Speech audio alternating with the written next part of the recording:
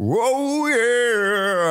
1, 2 și 1, 2, 3 S-o închis, da, s-o închis, da S-o închis, da, nu cu tetu mm, S-o închis, da, s-o închis, da S-o închis, da, nu s-o închis Nu s-o închis, nimeni, nimic nu s-o închis. Pur și simplu le-a fost suspendată licența de emisie La câteva posturi TV din Moldova Care lăudau războiul, care dădeau știri manipulatorii Care își schimbau proprietarii prin umbră Fără a anunța Consiliul Audiovizualului Care reflectau în lumină pozitivă pozitivă bandiții aflați pe liste de sancțiuni internaționale. Dacă să ne referim la sancțiunile aplicate de CEA pe parcursul acestui an, doar pentru încălcarea unui singur articol, articolul 13, asigurarea informării corecte, avem următorul tablou. NTV Moldova 22 sancțiuni, primul în Moldova 17 sancțiuni, RTR Moldova 14 sancțiuni, Orhei TV 13, TV6 13, Accent TV 5 sancțiuni. Asta, asta cine? Noi? Niciodată! Spune Dorina Gerganov, unionistă, apropo. Nu credeți? Ia, ia vedeți și voi. Uitați-vă, uitați-vă cum se apropie, cum se unesc malurile de prut. La Ilan Shore prompteristă, pe Instagram, unionistă. Молодец! Prieteni dragi, bun găsit la emisiunea Lumina. Eu știu că voi v-ați conectat aici cu un scop anume. Voi aveți un, un dor și acest dor arde ca o flacără, iar eu, jurnalistul profesionist Pierre Pompier, Vin să vă sting acest foc. Eu vin să vă arăt pe cei care au a, alunecat în... în vremurile lui Stalin și Ceaușescu când era închisă gura intelectualilor care au ce spune concetățenilor. Îi se rupe inima! Haideți așadar să-i cunoaștem măcar pe unii din cei care în prag de iarnă au rămas orfani de gură. Propagandiștii de buzunare. Începem cu Vadim Stângaciu. Dacă despre cazurile când când femeile își vând trupul pe bani se mai vorbește, despre bărbații gigolo nu se știe prea multe. Ne amintim cu nostalgie de prietenul nostru Vadim Stângaciu, care a lucrat pentru Plahotniuc la Publica, la Canal 2 și la Canal 2 Nisporeni, Vadim în 2019 și-a pus rucsacul în spate și a plecat să crească ratingul Partidului Democrat în circumscripția desenată de Plahotniuc în raionul Nisporeni. Câtă dedicație, cât devotament! Vadim nu mai lucrează la Canal 2 Nisporeni. Plahotniuc l-a părăsit, dar baș la murdară din miliardul furat o rămas. Și Vadim o ales să câștige pâinea lucrând pentru Ilan Mironovici Șor la televiziunea Primul în Moldova. Salariile profesorilor dublate, de două ori mai mulți bani pentru școli și grădinițe, iar nicio instituție de învățământ nu va mai fi închisă. Wow! Salarii mai mari, condiții mai bune, nicio școală închisă, oare cine poate să garanteze așa ceva, Vadim? Pe pagina sa de Facebook, Ilan Șor a declarat că o țară puternică are nevoie de cetățeni educați și instruiți, iar sistemul educațional trebuie să corespundă nevoilor tinerilor și să le ofere competențele necesare. Eu știu cum să corectez această nedreptate. Vadim, Vadim, Vadim, Vadim, Vadim!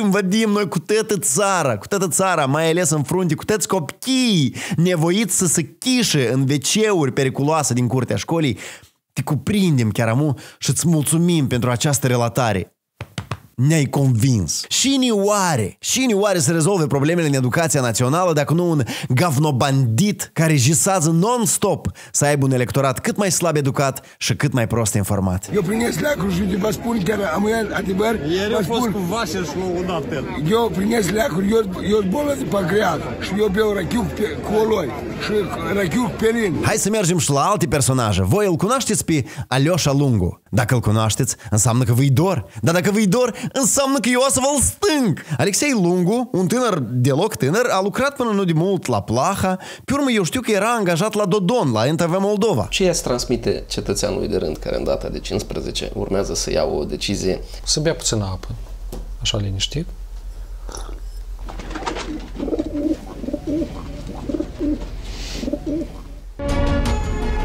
Amu îl descoperim pe Alexei la TV6, postul ușor. Întrebarea este cât să-l mai țină. Ce talent ascuns are Alexei Lungu, ce superputere are el încât reușește să rămână atâta timp în buznariu atâtor oligarhi fără ca fără ca să-i fută un duș rece și să uite în oglindă, Alexei! Alexei, te rog frumos, clipește din ochi dacă ești ținut static. Crede-mă, sunt mulți oameni care ar fi gata să-ți vină în ajutor. Suntem o emisiune deschisă pentru oricine care vrea să își exprime gândul, problema și păsul. Câteva zile în urmă, Alexei Lungu, proaspăt reangajat la Șor, s-a ales cu o nouă emisiune, emisiunea Puls! Ultima literă precisă e greșită. Și una din emisiuni, taman înainte de a le suspenda licența de emisie, gâși despre ce a fost. Mai pe scurt, ministrul justiției, Sergiu Litvinenko, a anunțat recent un proiect de lege care prevede transpunerea sancțiunilor internaționale în legislația Republicii Moldova. Este un proiect de lege complex, care a fost inspirat atât din legislația Statelor Unite ale Americii, cât și din statele care anterior deja au transpus legislația Magnitsky în proprie legislații. Vorbim de Canada, Lituania, Marea Britanie. Amu, foarte important de știut, lege încă nu-i. Nu-i, numai proiect publicat pe site-ul Cancelariei de Stat. Atât, la faza de consultări, nici în Parlament măcar nu a ajuns. Dar și face Alioșa Lungu la televiziunea Lușor? Ho, ho, îl cheamă pe Aiureliu Colencu, avocatul Lușor, avocatul lui Tauber, avocatul Avia Invest. O cheamă pe Tatiana Platon, membra Partidului Lușor, vicepreședinte raionului Orhei și grăiesc despre cum ei deja, deja sunt supuși sancțiunilor, deja suferă pe seama acestei legi. Legi care nu există, bă! Astăzi, în ce situație sunteți dumneavoastră și dacă ați fost deja anunțată că băncile nu mai lucrează cu dumneavoastră, notarii nu mai lucrează cu dumneavoastră, uh, companiile de asigurări nu mai lucrează cu dumneavoastră și alte entități ale statului. Sau deocamdată uh, sunteți în așteptare să primiți vreo scrisoare sau vreun anunț uh, special. Lege noi. Nu-i clar și faci o lege care nu-i. Nu-i clar și ne aplică o lege care nu-i. Dar jurnalistul Alioșa Lungu o întreabă pe doamna Tatiana Platon, membra Partidului Șor, dacă deja îi se întâmplă ceva și nu-i. Și Tatiana Platon în spiritul schizofreniei răspunde. Într-adevăr, într-o dimineață, exact ca, ca domnul Colenco, mă trezesc cu telefonul roșu unde spune Tatiana, fii atentă, poate e timpul să te întorci înapoi, poate dacă n-ai reușit să desfaci bine valizele, refăle și întoarce-te.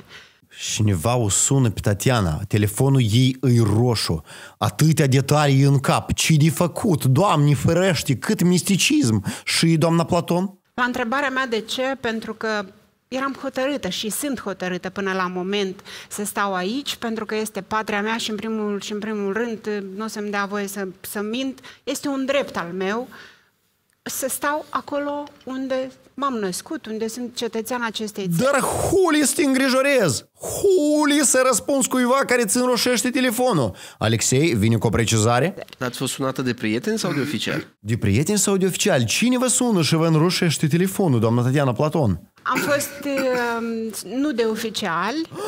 Nu există lege? Nimeni nu pune în aplicare lege care nu există și nu un oficial te-a sunat, dar tu cu toate astea ai făcut o oră de emisie la TV, la o emisiune analitică? Ha-ha! Zaibist împim poporul! Până la moment încă nu am fost avizată nici într-un mod oficial, nu am fost înștiințată de nimeni, dar evident aceste sunete de alarmă, ele persistă.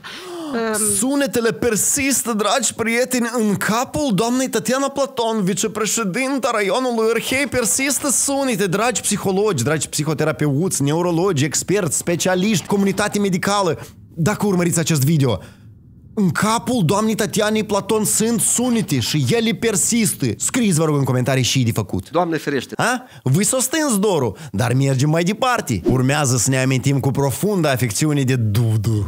Doamna, doamna jurnalistă cu experiențe, doamna Елена Пахаха, Пахо, Пах... Елена Пахомова! Почему так поздно записываю и выкладываю это сообщение? Потому что сегодня мы были на корпоративе. Правда, корпоратив праздник не состоялся, потому что в самом начале мы узнали о новости, которую нам выдала комиссия по чрезвычайным ситуациям. Горите в аду, конечно же, уважаемые, точнее, неуважаемые члены. Sărmana! În seara în care s-a dus la corporativ, pe dânsa au anunțat că i s-a suspendat licența de a emite minciuni la oameni. Nu, hai dar să te jălim un pic. Ce mai ai de povestit? Uh, уже 25 февраля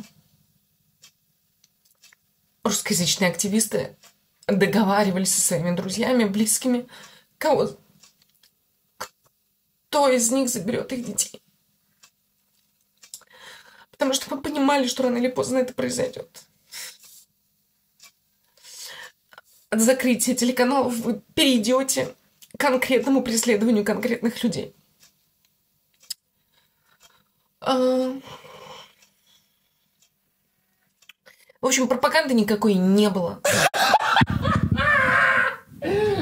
общем, пропаганды никакой не было. Деня классно, что... Ну, мадис пресно, что ваш видео Елена Пахомова. В общем-то, пропаганды-то никакой не было. Кари пропаганды мои уамень буня, лукратен экипа лудодон, а мукрата телевизионя лудодон, а му лаут пион чебан. Кари пропаганды. А, а, Елена Пахомова о май кондус, что послал де телевизионе Первый Приднестровский, постул фрунтаж ал сепаратистилор Днестрения? Зрителю все равно, устал ты или нет. Это новости. Важно все делать быстро и не забывать о качестве. Вот в этом кабинете, на этом телевизоре за всем этим следит самый строгий зритель Первого Приднестровского, главный редактор. С ее руки телеканал сейчас совершает практически квантовый скачок. Новые проекты, новые лица, новая техника, новые цели, а теперь еще и HD-качество. Stai, stai, stai, stai, stai. Voi vreți să spuneți că Elena Pahomova care deține cetățenia Republicii Moldova, o, o, o facilitat, o organizat, o administrat un post de televiziune care numește țara noastră,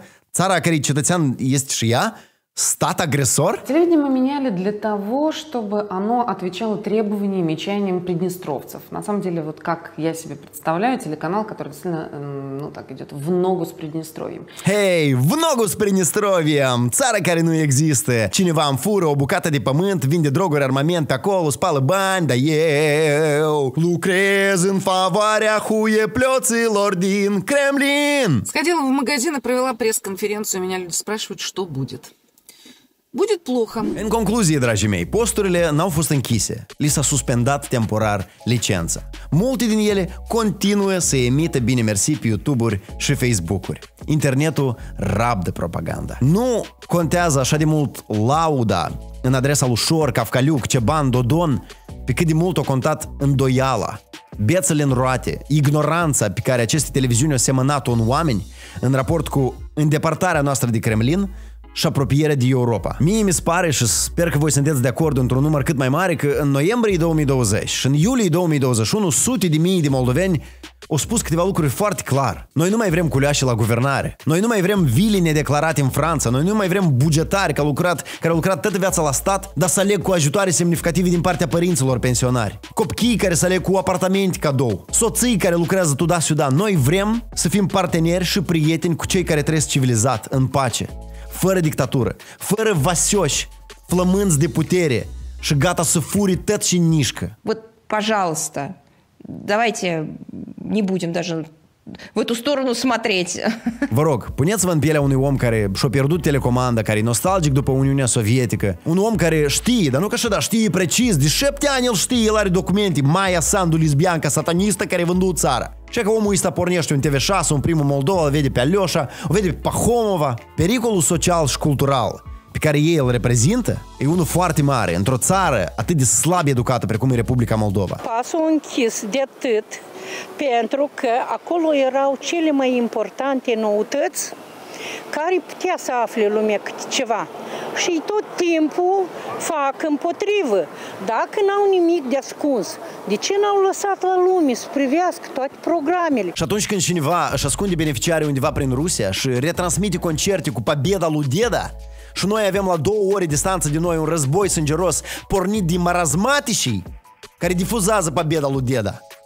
Eu cred că decizia luată de Comisia pentru Situații Excepționale e una de salutat. Dragi prieteni, am ajuns la final! Vă mulțumesc mult pentru atenție! Dacă mai aveți încă o lecuțică de internet la telefon, apăsați, vă rog, butonul like, nu vă costă nimic. Apăsați, vă rog, butonul share și să ajungem departe, prin Orhei, prin Taraclia, prin alte localități unde e rata înaltă de infectare cu virusul propagandei. Iar dacă ați vrea să investiți într-o mașină Tesla trecută pe gaz, puteți să mă susțineți pe patreon.com barafedot sau cu o contribuție directă pe PayPal la emisiunea.lumina.gmail.com Vă mulțumesc, sănătate și pupicei! Pupicei, pupicei,